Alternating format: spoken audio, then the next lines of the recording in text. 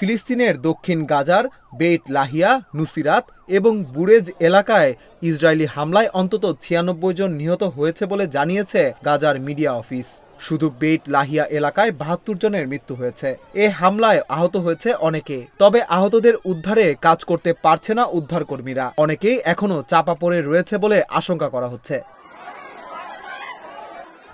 জানা গেছে, ওই এলাকায় গাজার তিনটি প্রধান শহর থেকে পালিয়ে এসে এই এলাকায় আশ্রয় শিবিরে অবস্থান করছিল বহু ফিলিস্তিনি। এখানে বড় আটটি আশ্রয় শিবির রয়েছে। ওই হামলায় শুধু আবাসিক ভবনই নয়, অনেক সরকারি ভবন, অবকাঠামো, রাস্তাও ধ্বংসস্তূপে পরিণত হয়েছে। আজ ভোরের দিকে আবাসিক ভবনগুলোতে হামলা চালানো হয়। সেখানেই প্রায় সত্তর জন নিহত হয়েছে।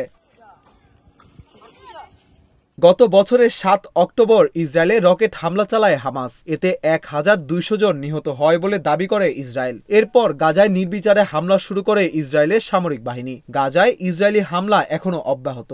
গাজার স্বাস্থ্য বিভাগ বলছে, ইসরায়েলি হামলায় গাজায় এ পর্যন্ত প্রায় তেতাল্লিশ হাজার আটশো ছেচল্লিশ জন মানুষ নিহত হয়েছে। আহতের সংখ্যা এক লাখ ছাড়িয়েছে। এদের বেশিরভাগই নারী ও শিশু। আহত প্রায় এক লাখ মানুষ।